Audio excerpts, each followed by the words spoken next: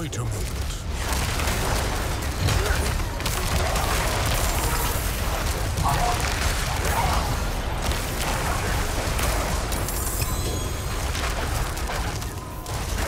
I need more spirit.